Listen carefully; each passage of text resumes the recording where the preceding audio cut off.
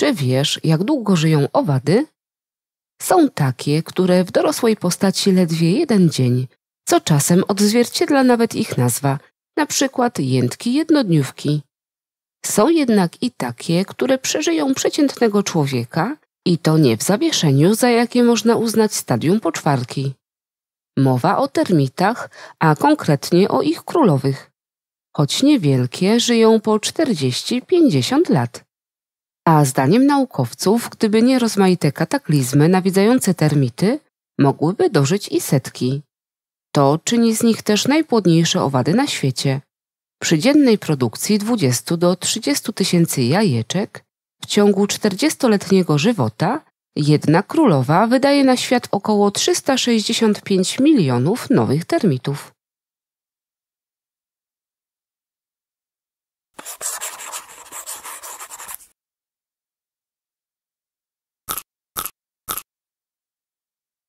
Owady są najliczniejszą i najbardziej różnorodną grupą organizmów zwierzęcych.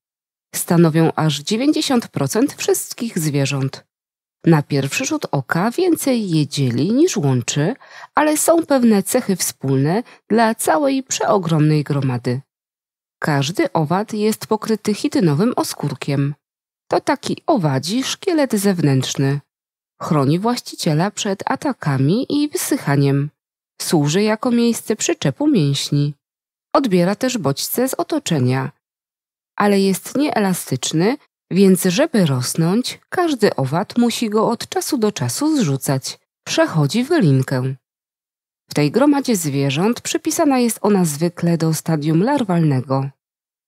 Ciało każdego owada jest zbudowane z trzech części głowy, tułowia i odwłoka. Na głowie znajdują się oczy i para czułków oraz aparat gębowy. Czułki służą do odbierania bodźców dotykowych, zapachowych i dźwiękowych. Oczy owada najczęściej są złożone z tysięcy oczek prostych.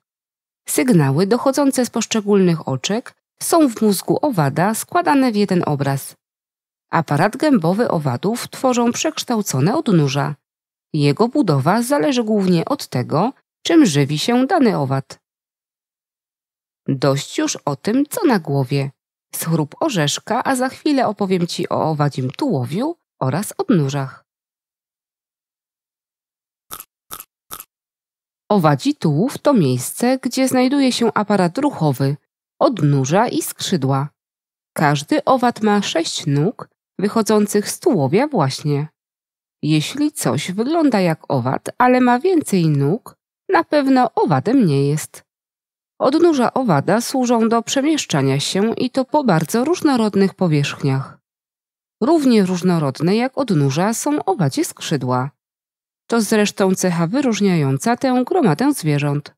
Spośród wszystkich bezkręgowców tylko owady posiadły bowiem sztukę latania, choć nie wszystkie z niej korzystają. Skrzydła wyrastają z górnej części tułowia i zwykle występują w dwóch parach, jak na przykład u i motyli. U części owadów, na przykład chrząszczy i pluskwiaków, pierwsza para skrzydeł jest przekształcona w pokrywy. Inni przedstawiciele, na przykład muchy czy bzygi, mają jedną parę, bo druga uległa przekształceniu w tak zwane przezmianki, pełniące rolę narządu równowagi. Są i owady bezskrzydłe, jak żerujące w mące i cukrze rybiki, które, choć może w to nie wierzysz, zaliczamy do moli książkowych. A jak owady się rozmnażają? Otóż w większości przypadków są rozdzielnopłciowe i do powstania kolejnych pokoleń potrzebne jest spotkanie samicy i samca. U owadów społecznych, jak mrówki czy pszczoły, zdolność do rozrodu zachowuje tylko jedna samica w gnieździe nazywana nie bez kozery królową. I to ona wydaje na świat kolejne pokolenia bezpłodnych robotnic i żołnierzy, a od czasu do czasu także samców, których jedynym zadaniem jest zapłodnić królową. Ze złożonych przez owada jaj wykluwają się larwy, które stopniowo przechodząc przez kolejne wylinki przekształcają się w osobniki dorosłe, tak zwane imago. U niektórych owadów, jak pasikoniki, ważki, modliszki czy wszy, larwy przypominają wyglądem formę dorosłą, tyle że są od niej mniejsze, nie mają zwykle skrzydeł i nie są dojrzałe płciowo. Taki rozwój nazywamy przeobrażeniem niezupełnym. Zdecydowana większość gatunków, w tym motyle, chrząszcze, pszczoły, osy, muchy i pchły, przechodzi przeobrażenie zupełne. Ich larwy nie są podobne do postaci dorosłej. Dużo jedzą i często linieją, skokowo zwiększając rozmiary ciała. Po osiągnięciu odpowiednich rozmiarów przekształcają się w poczwarki. Wewnątrz poczwarki następuje ostateczne przeobrażenie larwy w osobnika dorosłego. Dorosłe owady zwykle nie żyją długo, rozmnażają się, a potem giną. Miejscem, w którym zachodzi produkcja jajeczek i plemników, jest trzecia część ciała owada odwłok. Odwłok mieści również narządy wewnętrzne, jak jelito, oraz wspomaga oddychanie dzięki rytmicznym skurczom mięśni. Wymiana gazowa owadów zachodzi bowiem przez system tchawek, rurek o różnej średnicy, które rozgałęziają się wewnątrz ciała, tworząc przestrzenny system wnikający także do skrzydeł.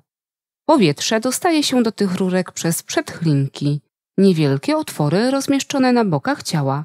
Tchawki kończą się ślepo, a ich zakończenia wypełnione są płynem, w którym rozpuszczają się gazy oddechowe. Choć nie każdy lubi, gdy mucha wpadnie mu do zupy albo ukąsi go komar, bez owadów trudno wyobrazić sobie życie na ziemi. Wiele gatunków, jak pszczoły, czmiele czy muchy, to zapylacze roślin kwiatowych, w tym ważnych dla człowieka. Bez zapylania rośliny te nie byłyby zdolne do wydawania owoców i wytwarzania nasion, a my stracilibyśmy takie smakowite jedzenie jak jabłka, gruszki czy maliny. Owady są także źródłem pokarmu dla wielu zwierząt ptaków, jeży i nietoperzy, ale także bezkręgowców, jak pająki czy inne owady. Wiele gatunków żywi się martwą materią organiczną i odchodami zwierząt. Można więc je nazwać czyścicielami środowiska. Owady roślinożerne, jak bielinek kapustnik czy stąka ziemniaczana, są postrzegane jako szkodniki, bo mogą powodować straty w uprawach. Mszyce wysysają soki z roślin, nie lubią więc ich działkowcy. Niektóre gatunki, jak mącznik młynarek i wołek zbożowy, pożerają zmagazynowane zapasy żywności. Są wreszcie i takie, które żerują bezpośrednio na nas albo na domowych zwierzętach. Pchły, wszy, komary i pluskwy nie tylko uprzykrzają nam życie swoimi ukąszeniami, ale i mogą być nosicielami groźnych chorób. Komar widliszek przenosi malarię, wesz ludzka tyfus, a mucha tsetse śpiączkę afrykańską. Są jednak i owady uznawane za cenne i pożyteczne nie tylko ze względu na swoją rolę w zapylaniu. Wszyscy wiemy, że pszczoły robią miód. Dostarczają też wosk i kit pszczeli. Z kokonów jedwabnika morwowego produkuje się naturalny jedwab. Coraz częściej owady są też postrzegane jako źródło taniego i wysokowartościowego białka. Od niedawna prowadzi się przemysłowe hodowle, np. mączników czy świerszczy, dla celów konsumpcyjnych. U świerszczy i pasikoników na tylnej parze odnóży znajduje się narząd głosowy. Pocierając go, owad wydaje dźwięki. Jak myślisz, jaki jest cel takiego działania? Jeśli stawiasz, że dźwięki mają przyciągnąć partnerów, brawo. Owady są najliczniejszą gromadą zwierząt. Ich ciało składa się z trzech części głowy, tułowia i odwłoka. Jest pokryte chitynowym oskórkiem, który okresowo zrzucają, by rosnąć. Każdy owad ma trzy pary odnóży i parę czułków. Większość ma też skrzydła, najczęściej dwie pary. Owady na ogół rozmnażają się płciowo i przechodzą rozwój złożony z przeobrażeniem zupełnym lub niezupełnym. W rozwoju z przeobrażeniem zupełnym występują ruchliwe larwy i nieruchoma poczwarka, niepodobne do postaci dorosłej, czyli imago. Po obejrzeniu tego filmu mam nadzieję, że nabierzesz apetytu. Może nie na suszone świerszcze, ale na kolejną porcję wiedzy. Znajdziesz ją jak zawsze na pistacja.tv.